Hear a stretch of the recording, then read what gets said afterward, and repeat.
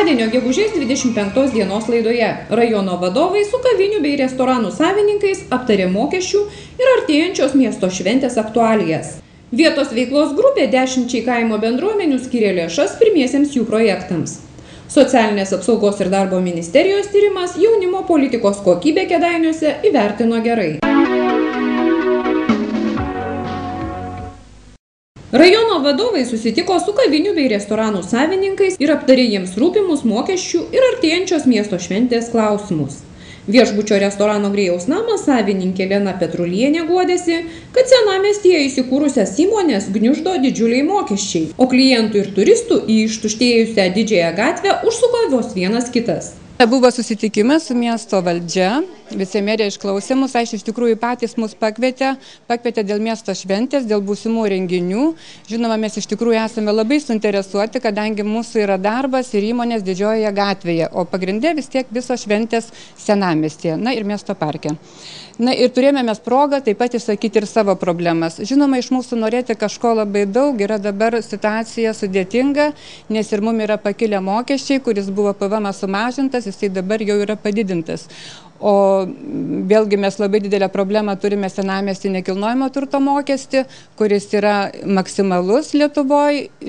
Vilnius jau yra susimažinęs iki 0,3 ar 0,5, o mes mokame 1 procentą, o mūsų yra turtas, kai tik yra ir senamestis, pačioje brangiausioje zonoje. Tai čia mūsų viena iš tokių bėdų. O šiaip tai aišku, liūdime, nes jaunimo mažai kedainiuose, mažai ir didžiojoje gatvėje, laukiame turisto, vėlgi turistas atvažiavęs sako, pas jūs nėra ką žiūrėti. Na tai taipgi situacija tokia ne iš per geriausia, bet tikimės kažko, tai vis tiek mes jau esame vietinė ir nenuleidžiam rankų. Kėdainių rajono vicemerė Nijolė Naujokienė akcentavo, kad šių metė 640-ojo jubiliejaus miesto šventė bus gera proga pasireikšti paslaugų teikėjams tačiau ir jie turėtų prisidėti prie pasirengimo ir programos kūrimo. Šiandien sukvietėme mūsų visų kavinių savininkus e, mieste ir priemestėje dirbančius, e, kad pasikalbėtume apie tai, kaip e, mes organizuosime maitinimą ir pritrauksime gyventojus vasaros laikotarpį ir miesto šventės metu. Iš tiesų išklausime vieni kitus ir man labai džiugu, kad mūsų kavinių savininkai iš tiesų supranta miestą, vertina ir rūpinasi miestu.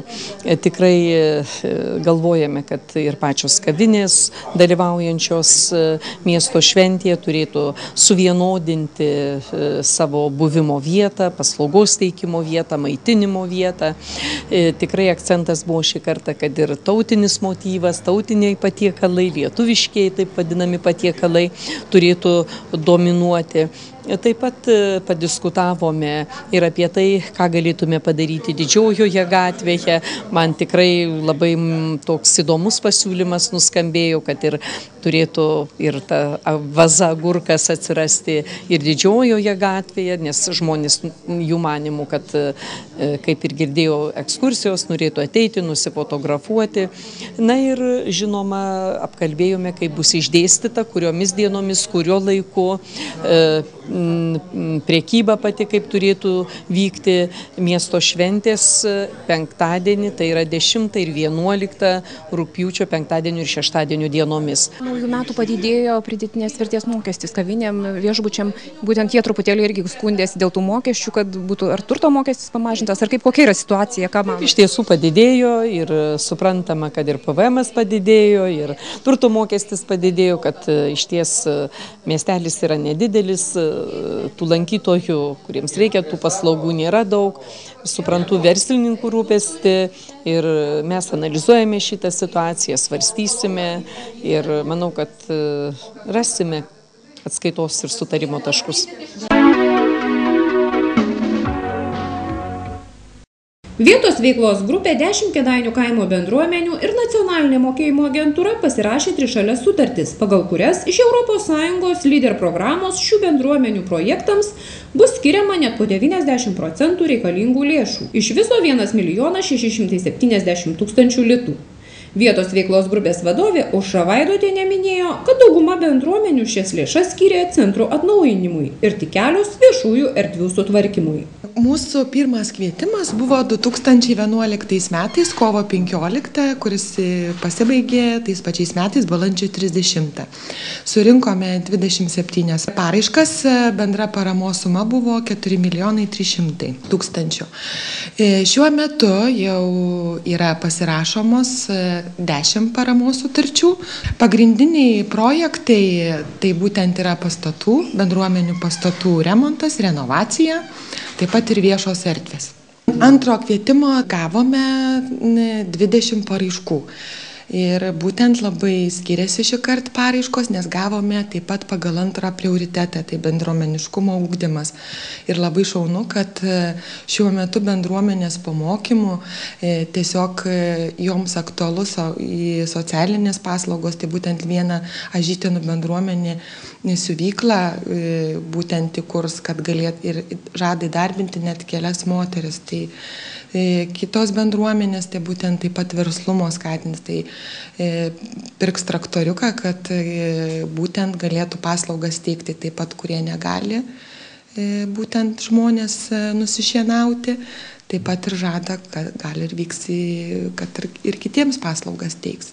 Tai va, tokie projektai yra ne vien atsiremontuoti pastatus ar, ir viešas erdvės užimtumas, bet ir būtent aktualu ir socialinės paslaugos ir verslumo skatinimas.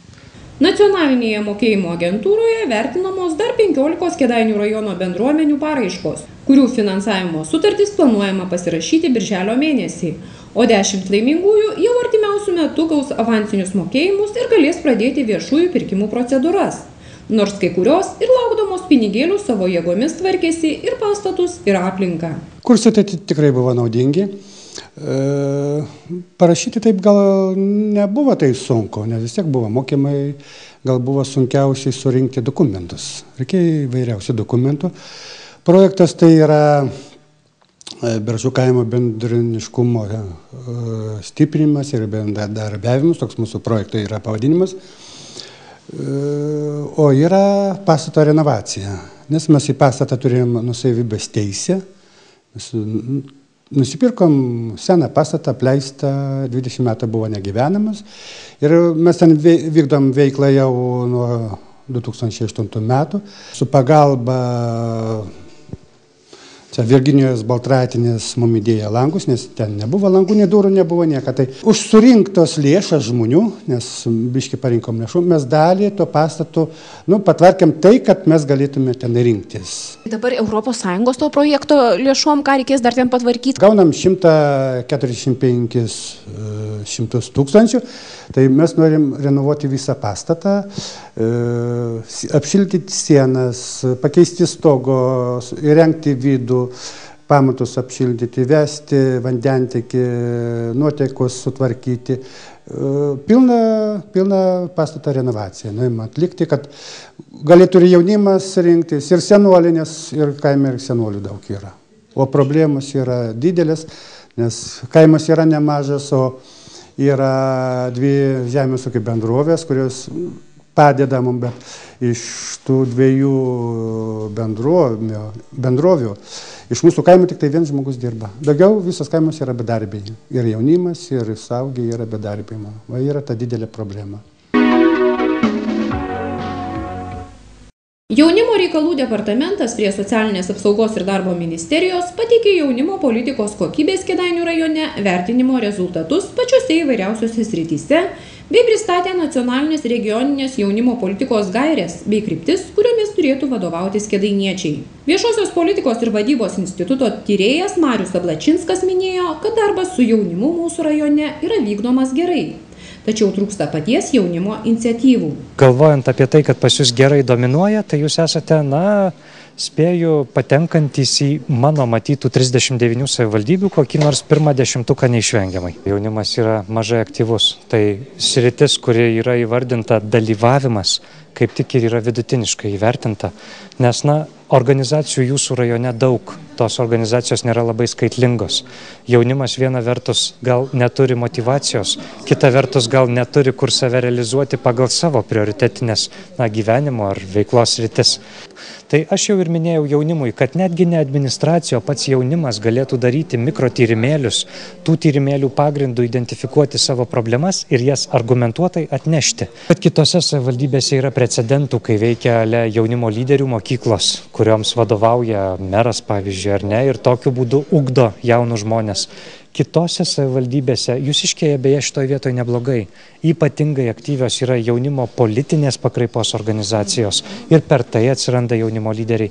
Na bet sutikite kad jaunimo politinės pakraipos organizacijos yra kartu ir politiškai angažuotos. Kartais ideologiškai angažuotos. O neduok dieve jeigu dar stipri partija arba atvirkščiai partija nestipri tai ką gi tu jaunas konservatoriau nuveiksi tada kai jaunasis darbietis yra dauguma? Jau keturiolika metų kėdainiuose veikiančios katalikiškos organizacijos tiltai vadovė zita kairaitytė tikino kad pasirinkta veikla jaunimui padeda susiformuoti kaip asmenybėms malonu kad buvo atliktas tyrimas ir kad nesam patys blogiausi kad diagnozuota teigiamybės ir trūkumai įvardinti, kad buvo maloniai pristatyta, kad galim toliau mąstyti ir galvoti, ką toliau daryti. Tiltai dirba su katalikišku jaunimu. Tai yra nebūtinai su katalikišku, bet mm, žmonėmis, dirba žmonės, kurie užsima neformalių jaunimo ūkdymu, e, remiantis krikščioniškom vertybėm. Manau, kad tai yra svarbu kiekvienam ir visi pastoviai turim vasaros stovyklas ir jaunimo veiklos projektus, kuriuose susitinka žmonės su įdomiais lektoriais, su žmonėm, kurie liudyja tas krikščioniškas vertybės ne tik tai žodžiais, bet ir darbais. Ir, ir mūsų tikslas, kad žmonės mąstytų, rinktųsi vertybės ir galvotų ir gyventų tuo. Aš truputį nesutikčiau su lektoriais, kad turi būti angažuotas, turi būti aktyvus. Aš manau, kad pirmiausia turi subręsti kaip asmenybės. Todėl brestam kaip asmenybės, dabar turim bendradarbiavom su Tiberiados broliais ir turim maldos grupę, turim su kitu jaunimu draugaujam, su Dotnuva, čia Kedainiuose ir, vienu žodžiu, kažkaip norėtume, kad vaikas, vaikai brestų, pirmiausia rinktųsi vertybės, o paskui jau žinotų, kur eiti. Gegužės 26-osios laikraščio Kedainių mūgė anonsas. Juokaudamas sakau, kad moteris išoriškų pokyčių užsinori tada, kai susipyksta su vyrais, širdies draugais ar meilužiais. O rimtai galiu tvirtinti, jog permainų poreikiui subręstuma maždaug kas treji metai, pareiškė su patyrusiu kolegų komanda į kėdainius atvykęs vilnietis kirpėjas stilistas sigitas strelkauskas gėlininkų teigimu vadinamasis pinigų medis lietuvoje pražysta labai retai o kėdainietė marytė tvarijonienė tuo gali ir pasidžiaugti ir pasididžiuoti geriausiu kėdainių rajono apylinkės policijos inspektoriumi dar sausį paskelbtas dvidešimt penkerių metų prevencijos poskyrio tyrėjas vitalijus masiliūnas ant laurų nesnūduriavo gegužę jau didžiavosi analogišku pripažinimu visoje kauno apskrityje. Šios ir daugybė kitų temų margame rytojaus laikraštyje kėdainių mugė. Sužinosite kad vien per tris pirmąsias gegužės savaites gyvūnai sužalojo septyniolika šio rajono gyventojų. Kas iš tikrųjų rūpi dabartinei rajono valdančiajai daugumai ką minėjo mėgienų gyvenvietės žmonės Kartu rasite ir visos ateinančios savaitės abiejų kėdainietiškųjų ir svarbiausiųjų šalies televizijų programas. Skaitykite Kedainių mūgę glaustai, aiškiai ir konkrečiai susipažinsite su krašto gyvenimu iš visų pusių. Šeštadienio rinkos aikštė tradiciškai įdomi ir informatyvi. Tiesa, ir įvairiapusiška. Todėl, kad kaip ir gyvenime, taip ir laikraštėje rasime žinių ne vien apie gerus darbus bei poelgius. Antai skaitytojams pranešama apie visiškai neatsakingą vieno jaunuolio poelgį, dėl kurio kelyje buvo sužalotas žmogus. Pateikiama informacija ir apie smurtą šeimose plėšimą draudžiamo ginklo laikymą kitokius įstatymais uždraustus veiksmus. Nemažai pateikiama ir aktualijų. Antai pranešame apie rajone siaurinamą lietuvos pašto įstaigų tinklą bet nuraminama kad visos paslaugos gyventojams bus išlaikytos čia pat galima susipažinti su naujomis šilumos ir karšto vandens kainomis sužinoti apie rajone populiaraus konkurso organizavimą, numatytas artojų varžybas, iš ankstinės grūdų bei rapsų pardavimo sutartis, artėjančią rajono moksleivių dainų ir šokių šventę, jau įvykus Mėgino kaimo sukakties minėjimą, ryto vidurinės mokyklos surengtą gražų renginį ir visa kita. Šeštadienio kėdainių garse skaitykite šviežiausias naujienas. Kėdainiuose prasidėjo sporto ir pramogų komplekso Kėdainių arenos statybos. Publikacija, kurioje sužinosit informacijos apie būsimą statinį ir pamatysite, kaip jis atrodys. Aktualios, ar dinksta kėdainiečiai. Kas pristatys savo kūrinius kūrybinių industrijų festivalyje. Kokie ir kodėl darbai stringa jos vainiuose. Kiek pinigų padalinta Kėdainių rajono bendruomenėms. Bei daugybė kitų žinių. Mažojoje provincijoje išsami etnografės Reginos Lukminėnės publikacija apie sėkmines, papročius, receptus ir tradiciškai sveikinimai gausybė skelbimų.